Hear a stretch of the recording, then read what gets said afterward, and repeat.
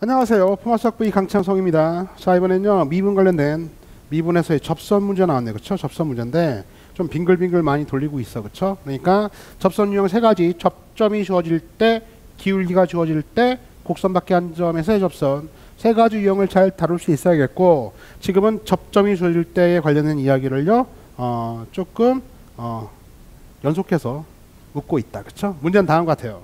fx 3차함수 fx가 x3승 그림을 좀잘 그려야 되는데 그쵸? y 콜 fx가 x3승 플러스 ax요. 네, fx가 x3승 플러스 ax요. 이렇게 있어요. 그쵸? 뭐 원점 지날 거고요. 원점 대칭 함수네. 그쵸? 원점 대칭. 대충 한번 그려볼게. 원점 대칭이니까 대충 뭐 이런 상태일 거야. 그쵸? 원점 대칭. 자 물론 여기 있던 a 값이요. 양수면은 어떻게 될까요? 양수면은요. 예, 이거 x 묶어주고요. 극대극소가 없을 수도 있습니다. 알겠죠? 그죠? 없을 수도 있어요. 하여튼 어, 저 상태요. 이때 마이너스 1, 마이너스 1, 마이너스 a요. 마이너스 1, 마이너스 1, 마이너스 a라고 하는 그러한 점에서의 그 접선이 접선이 아 우울하네 그렇죠? 하여튼 뭐 이렇게 접선 그렇게 접선 접선이요. 접선이 여기 있던 y 콜 fx와 위에서 한 점 과 만나는 점을 B점이라 했어요. 만나죠. 그렇죠? 만나게 해서. 이게 B점이에요. B점. B점. 또, 요 B점에서의 접선이요. 이 곡선과 만나는 점. 아, 이 접선이요. 또, 젠장. 언제 가서 만나겠죠. 그쵸? 밑에서. 만났을 때 그 만나는 한 점이 C예요. 저기 뭐 C. 저 밑에 만날 거예요. 그쵸? C요. 이때 만나는, 아, 접선이 한 점을 C라고 할 때요. BC의 X좌표가 BC예요. 그러니까 요놈의 X좌표가 B고요. 저기 어디가 만나는 그쪽에 X좌표가 얼마입니까? C예요. 그렇죠? BC요. CC. 이때요. FB 플러스 FC요. 이것이 마이너스 80이 될 때 이때 A 값을 묻고 있습니다. 그러니까 사실은 봐요. 잘 봐. 이게 문제가 별로 어려운 게 아니라 이거죠. 이 fx는 다 준 게 아니라 요게 미정계수 a 하나 남겼잖아요. 그렇죠? 여기 A 하나 남겨놨잖아. 그러니까 A 하나 남겨놨기 때문에 이 A 값만 알고자 하면 끝나는 건데요. 조건식 하나가 필요해요. 조건식 하나가 필요한데 계속 돌리고 있죠. 어떻게 해요? 아, 그냥 그냥 접선 문제로 끝낸 게 아니라 이 접선과 원래 있던 곡선이 만나는 점의 좌표가 B고 그다음에요. 그 B점과 다시 B점에서 접선 그어서 그놈이 원래 있던 곡선과 만나는 점의 좌표가 C고 X좌표가 C고 그 BC에서의 함수값 함수값을 더한 게 마이너스 80이라는 조건을 이용해서 A값 구하라 이런 거잖아. 그렇죠? 그러니까 아, 20까지 가려면요. 일단 접선들을 좀 잘 구해 볼 줄 알아야겠네. 그렇죠? 자. 첫 번째. 접점이 주어질 때 가장 간단한 접선 유형이죠. 마이너스 1, 얼마입니까? 마이너스 1, 마이너스 A요. 예.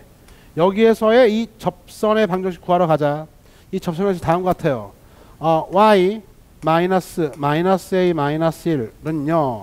기울기 기울기는요. 미분해 주면 f 프라임 x는 3x의 제곱 플러스 얼마 a니까 여기다가 얼마 넣어줘야 돼?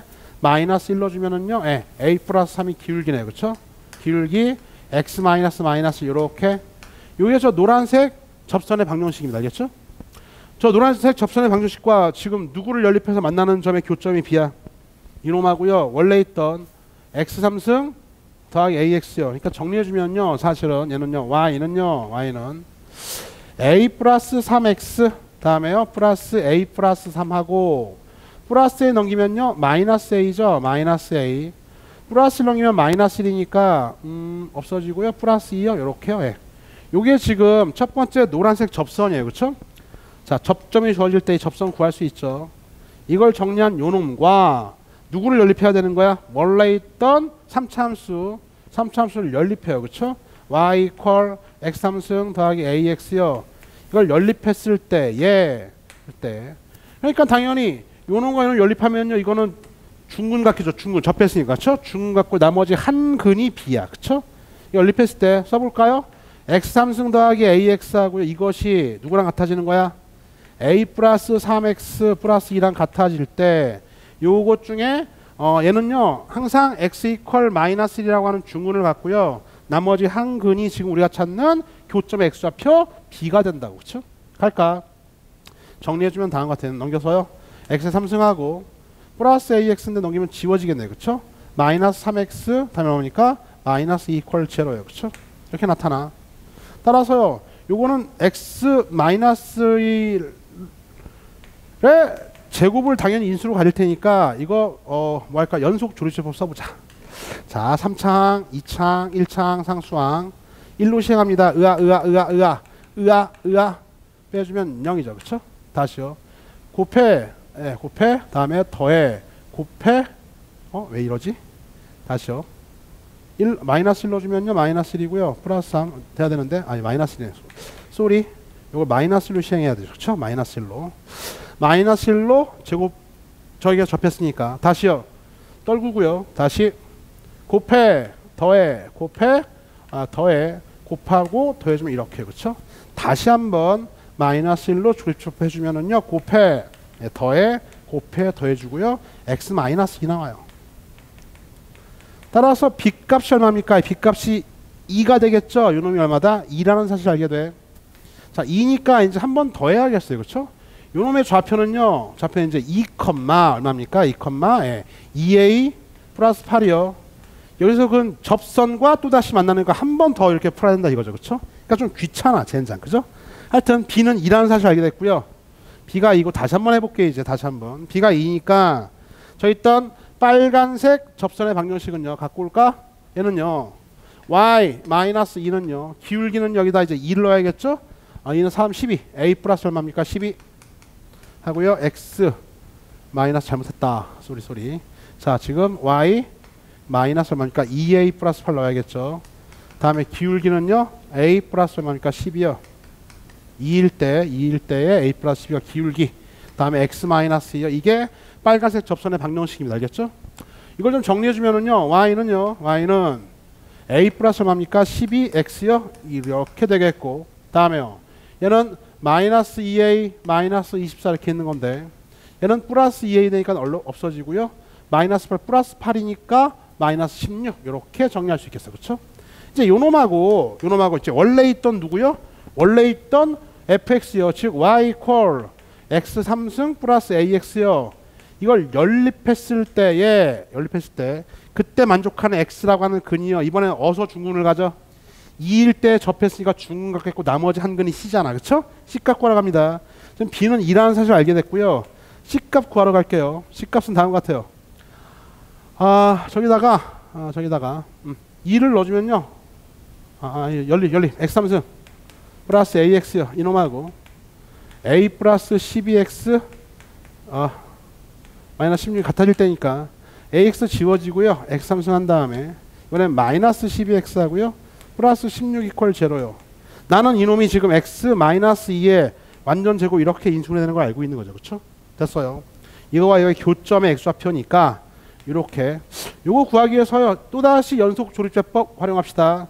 3창, 2창, 1차항, 상수항. 얼마로요? 2로 시행하자. 떨고 곱해, 더해, 곱해, 더해, 곱해 더해 한 번 더 떨고요. 곱해 더해 곱해 더해 x 플러스 4요? 그렇구나. 따라서 x 이퀄 마이너스 4 이렇게 가서 저쪽에서 만나는 교점의 x좌표가 마이너스 4라고 따라서 c가 마이너스 4라는 사실 알게 돼.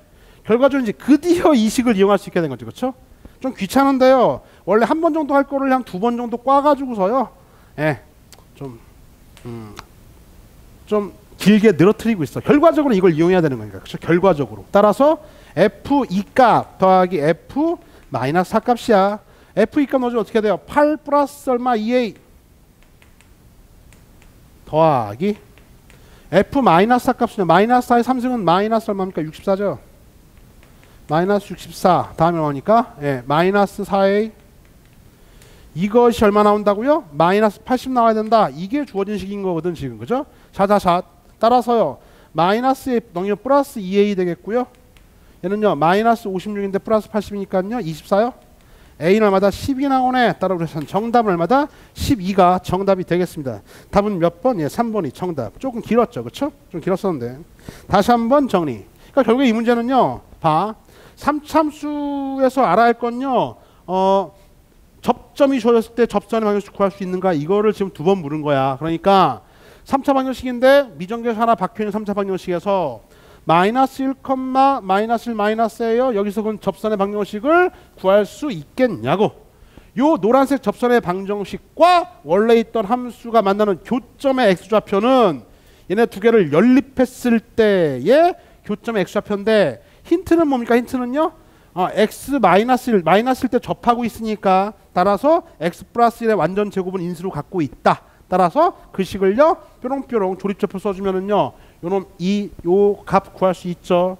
이 값 구한 다음에 그걸 한 번 더 해야 돼. 왜? 이 b가 2라는 사실 알았고요. 결과적으로 이 식을 써먹어야 되는 거니까 b가 2니까 2,2a 플러스 8에서 근 접선의 방정식 구할 수 있고요. 이놈과 원래 있던 함수를 연립해서 교점의 x좌표는 연립해서 연립한 그 요 연립 방정식의 x에 관한 실근들이니까 연립해 놓고서 다시 또 그 연립한 식이요. 3차 방정식이 x 마이너스 2의 완전 제곱을 갖고 있는 거니까 인수로 조립표표 써줘 가지고서요. 나머지 C값도 구해내시고 B값, C값 넣어준 다음에 그 합이 마이너스 80이다. 미지수 A 하나씩 하나 A값 구할 수 있다. 조금은 호흡이 긴 문제였어. 그렇죠? 차분차분 풀어봐. 접점이 주어질 때에 뭐야? 접선의 방정식 구할 수 있으면 되는 거다. 됐습니까? 이번 문제 풀이는 여기까지예요.